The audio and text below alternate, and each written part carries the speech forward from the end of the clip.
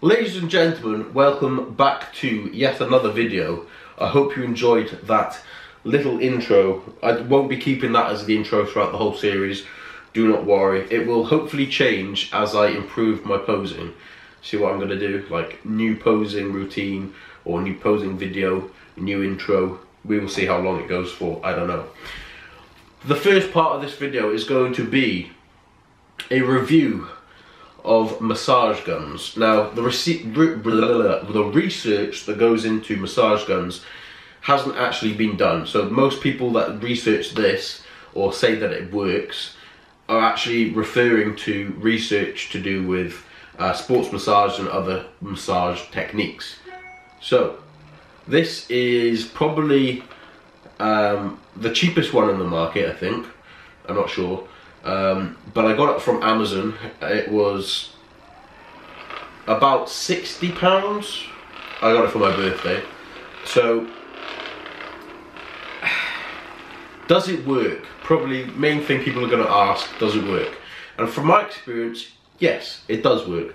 Uh, for example, this morning um, I woke up, had pretty bit of soreness, maybe tightness in my trap. Um, I got this out. I said to my girlfriend you need to uh, massage me in the back, please. She said yes. She hit me with the gun, did a little bit in my uh, trap, and it doesn't hurt anymore. Happy days. Um, would I recommend doing it straight after you done, have done legs yesterday, like I am now? No, I wouldn't, because it's incredibly painful. It's like extremely sore, especially around the teardrop, just like that. I wouldn't recommend doing that. But where it is good on your legs is right on your IT band or when you haven't trained. It is very good. So I'm going to give the massage gun a 8 out of 10 review. Um, its battery life is pretty damn good as well. And the speed it gets up to 20. Now, the reason this gun doesn't have a 10 out of 10 review is it's quite noisy. Listen to this. So if you're trying to watch a film or something and you're relaxing, doing a little bit of uh, massage gun, you can't really watch the film properly because it's so damn noisy. So if you don't really want to massage yourself any other time of the day, apart from when you're watching a film, don't get this. But otherwise, I would suggest giving it a try. It's only 60 quid, it's not bad really. And uh, it does feel incredibly nice. So that's a uh, that's an 8 out of 10 review for this massage gun. It has no brand, so I can't say which brand it is, but Amazon's own, I think. It's lovely.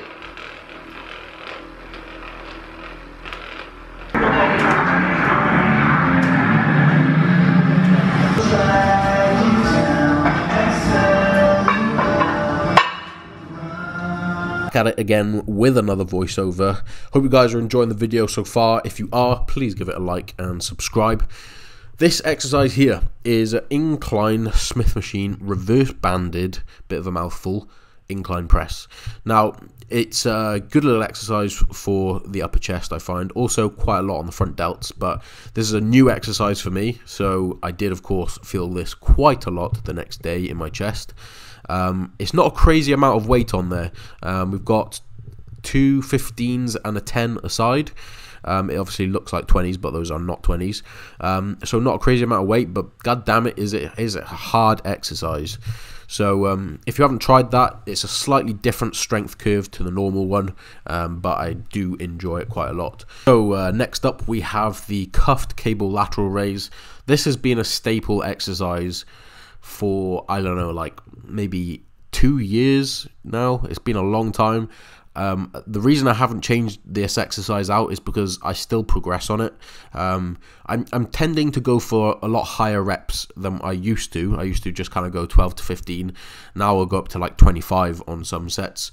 Um, but it is one of my favorite kind of lateral delt uh, exercises it really targets it quite a lot and because we've got the cuffs your forearms are taken out of it a little bit i see a lot of people putting the cuffs on your kind of elbow close to your bicep but I, I can't I can't get them on there. It's not because my arms are too big. I don't think it's just it's, it's awkward. Um, so I, I choose to put them on the wrists. Um, still a good exercise. You're still going to get the benefit from putting it um, on your wrists. You just may have a little bit more um, elbow kind of stress along that tendon, uh, but shouldn't be anything that will cause any problems. Here we have the chest press, um, just a normal chest press on this one. No incline, no decline. Trying to also use my um, elbow sleeves quite a lot on these exercises just for the first few weeks of my training cycle. And then as my next few weeks go on, I will stop using the knee sleeves. I just find it's a little bit more support and kind of um, you can kind of trust it a little bit more. You feel a little bit safer when you go into the exercise. Um, but I only really use it on my first set of the exercise, and then I tend to take it off then for the next few, just to make sure elbows are warm and supported.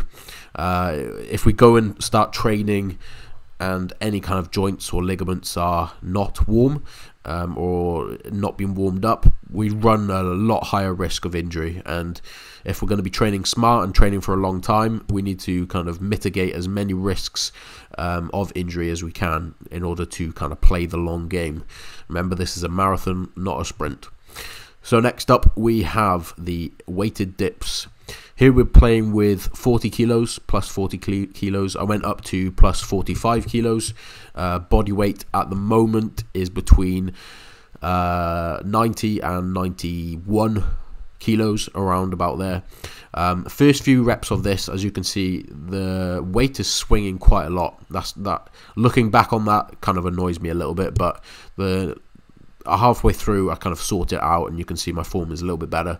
I'm going to my active range of movement, so you'll see I kind of go to slightly above parallel, maybe parallel, um, but that's my active range of movement. If I go down any further than that, it's taking a lot more front delt into the exercise, which I don't really want. You want to feel your dips in your triceps and, of course, your chest. So next off, we're moving onto occlusion training. Now, the way in which I do my occlusion training at the moment is I'll do one uh, day a week where I'm doing normal exercises for the arms, triceps, and biceps, and then one week, uh, one workout in the next half of the week where I'll do occlusion training. So whether that's um, biceps or triceps. So basically, I'm doing one ex one session non-occluded, and then the second session occluded. Uh, this actual exercise here with the D handles is probably the most comfortable tricep exercise I've ever done. Um, I used to love doing behind the head dumbbell extensions, but after a while, I just found that my elbows were getting a little bit too much um, kind of soreness around there, bit of inflammation around the tendon. So I sacked those off, and we're just doing tricep pushdowns with a D handle and EZ bar. With occlusion training, we want to have high amounts of stress going through into the muscle. Um, so here we're going to be doing a 20 second rest. My uh, Fitbit was decided to do some updates, so I had to get rid of that and uh, put on the timer on my phone. Uh, but we're going for 15 to 25 reps with five sets. Um, and the benefit of occlusion training is that we're putting a lot of stress through into one specific muscle, um, and that's allowing us to push lots of blood in there, cause lots of metabolic stress, uh, and and then get hypertrophy without using high high amounts of weight. So I'm using I think it's like 24 kilos here, um, which is pretty light for me on triceps. I, I, can go pretty heavy, but um, when you're occluded, you want to go a little bit lower weight and then obviously higher reps for that intensity. So we're allowing blood into the muscle, and the bands will restrict blood coming out of the muscle, um, which is how it causes that metabolic stress. In a similar way to having a crazy pump would also cause metabolic stress, or something doing like a drop set or giant set or something like that. Those will all cause stress in the muscle. The benefits from occlusion, apart from not putting so much stress through your um, tendons and ligaments and joints is also through your vasculature. So if we can push lots of pressure going through your veins, um, obviously our veins are very, very strong. There's not really going to be any risk of popping any veins or anything like that, or having a stroke or anything. Lots of people move away from occlusion training because they hear um, stories about people having strokes and popping veins and everything like that trust me, if you're doing it correctly, you will not be running risk of doing that. But we're also allowing lots of pressure in our veins, which is a good thing. So we're allowing lots of fresh blood being pumped to our muscle. It's good for promoting blood flow. Um, so a lot of times, if um, if you're somebody that has like cold hands or, or you get numbness in your fingers um, or you, you get very um, very low amounts of pumps in your arms, it could be down to your vasculature. So, um, getting some occlusion training in and really putting some stress through those tendons and uh, sorry, stress through those veins uh, will probably help you quite a lot as well. So. I see so many benefits from occlusion training. I, I really try and encourage as many of my clients uh, that are willing to do it to do it. It is very painful um, in in in a in a good way. It's in a in a painful way that getting a crazy pump is painful. Um, but here comes Danny, double thumbs up. Cheers, mate. Um, but yeah, it's it's one of those exercises in which uh, I, I I very much enjoy doing. So we'll skip forward the rest of this bit because it does obviously take a little while, but in the grand scheme of things, if you're trying to get lots of volume in, uh, doing it like this will obviously smash a load of volume but also um, take very little time because you're having minimal rest uh, and high reps. So if you're ever interested in trying some occlusion training, I would recommend getting bear grip straps. Um, you can buy those on Amazon or directly on their website. And if you are interested, you can use 7030 Fit for a 10% discount. They're not expensive though, so you're not going to be saving that much money. I realized a few days ago I haven't actually told anybody on YouTube or on Instagram my stats. So um, I'm about five foot ten and a half. Uh, and currently 91 to 90 kilos. Uh, this is the heaviest I've ever been and the leanest I've ever been at this weight. So I'm very happy. Uh, I'd like to ideally be a little bit less lean um, going into my prep in a few weeks, uh, but it's a position where I'm forcing in as much food as I can every single day. I literally can't eat anymore. So I, I, the way I look at it is I'm literally doing everything I can. I I wish there was more that I could do. Um, I, I've been bloody drinking oil. I've done it all. I've tried eating McDonald's every day. I've tried eating pizzas in the evening every day honestly, there's a lot of things that I've tried. Um, I, I want to obviously stay natural with everything which I'm doing. There's obviously lots of um, appetite enhancers which you can get, uh, which aren't natural, um, but I'm doing all I can. Really, that's basically everything that I can say. Um, I don't want to make loads of excuses um, because that's not who I am. I just want to say that I'm trying as much as I can. So if uh, if I look too lean, it's just something which I'm going to have to kind of accept, and maybe it'll be an advantage going into my competition prep. I might be able to achieve a little bit better condition than most, um, but I want to be able to hold on to as much muscle mass as possible. This is going to be my main focus going into this prep is preserving as much muscle as possible. My last prep, I was focused on just getting into the most ridiculous condition I could, um, and I was willing to sacrifice muscle mass for that. This time, it's it, it can't happen. I need to hold on to as much muscle mass as I can in order to be competitive. If I don't, I won't stand a chance on stage. So that is what my focus is going into this uh, competition prep. Um, also, I need to work on my uh, cardio a little bit in order to be able to hold these poses for a little bit longer. But I'm practicing.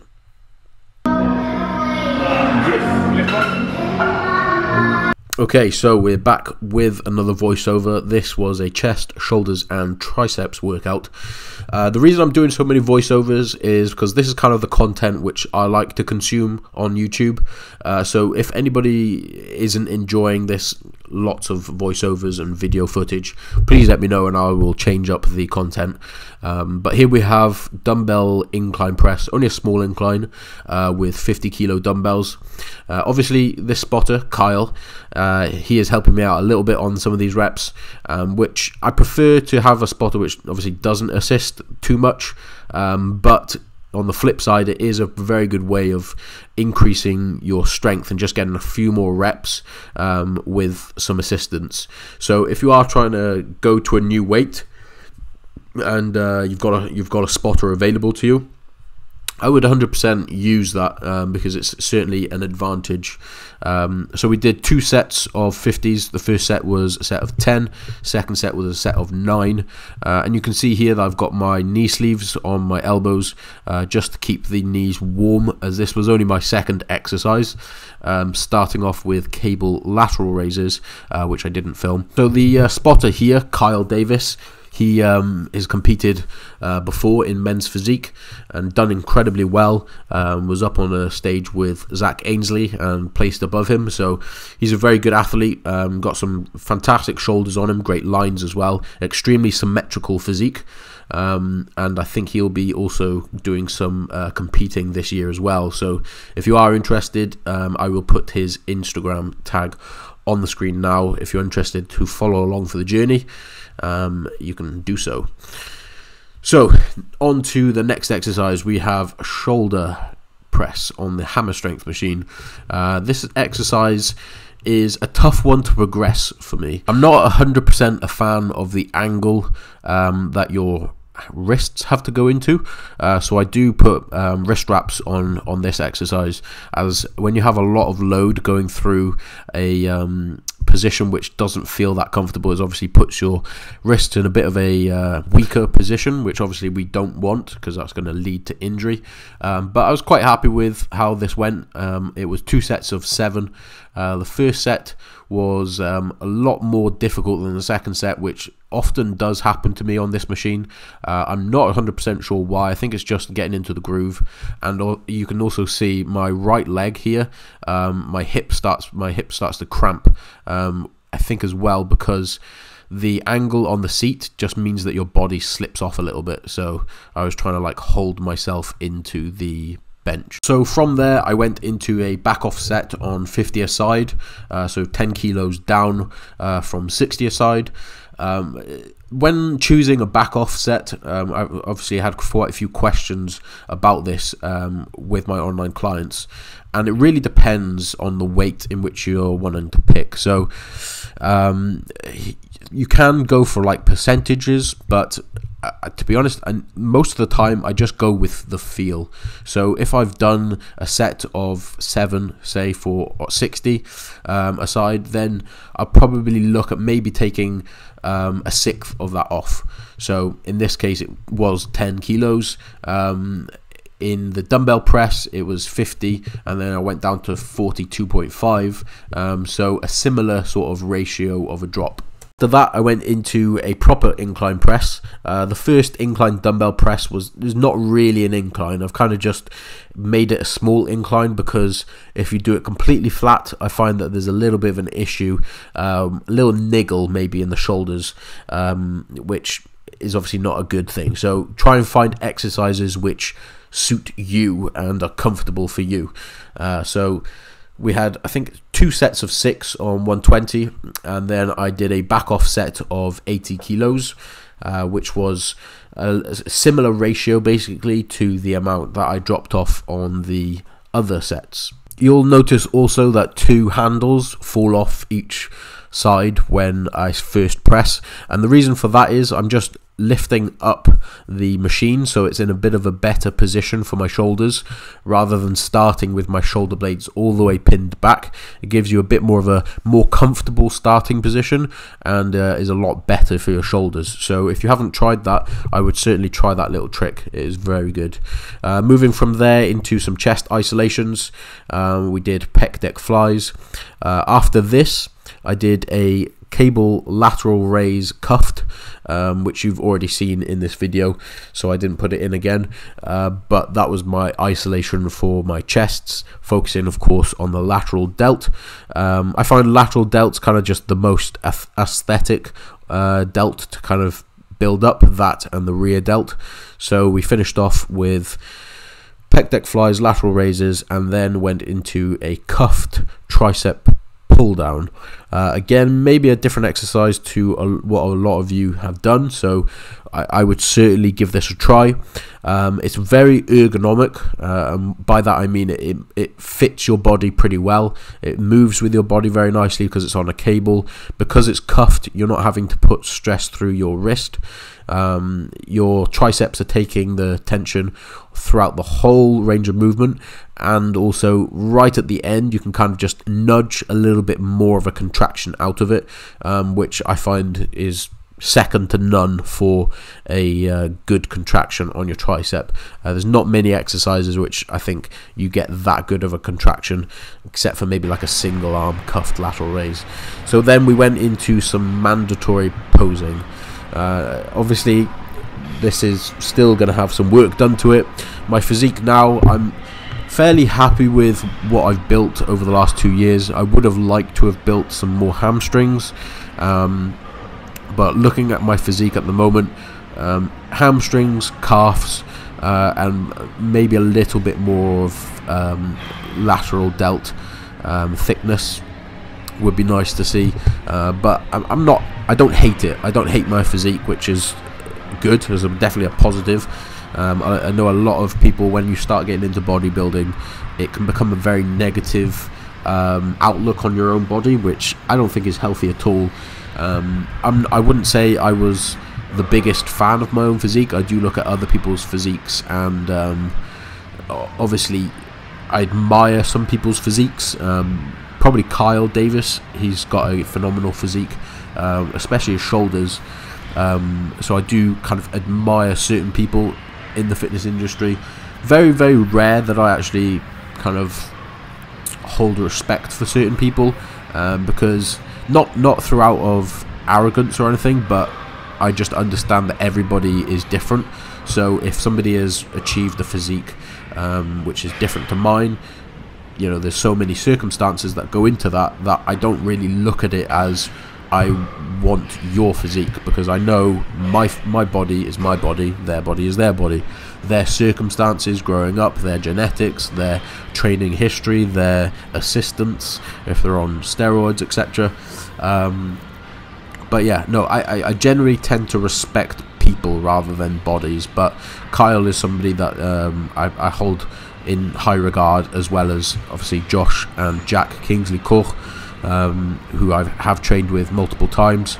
Um, so there's there's there's lots of people which um, are behind me, I guess, or actually I, I, wouldn't say that they were behind me whilst I'm kind of doing this, but th- I know that there's people which, um, as I go through my competition prep, I, I, I can ask them for advice or if I am struggling on something, I could ask them for support, which is certainly something I've, I've not really had in the past. Um, certainly, every other time that I've prepped, it's been more of a, you know, I went to a leisure centre where I trained. People didn't really understand the whole process of dieting down. Um, people don't really understand the whole putting lots of tan on and, uh, you know, depleting yourself before a competition, the low energy, the low strength, etc., etc. People don't really realize what you're putting your body through. Um, but now that I've changed to this gym, um, I do see there's going to be a, a it's going to feel different. I don't know if it's going to be different in a good way, different in a bad way, um, but it's definitely going to be different. So I am looking forward to it. Um, this year could be a interesting year going forward. I do I do have quite a few goals in which I want to tick off this year, so it's an exciting time. I hope you guys are also interested in the journey. I'm going to sign off now because I realize I've been talking for quite some time and there is absolutely nothing on your screen. So I hope you enjoyed the video. If you did, please smash that thumbs up, hit the subscribe, and I will speak to you guys in the next one. I love you. Peace.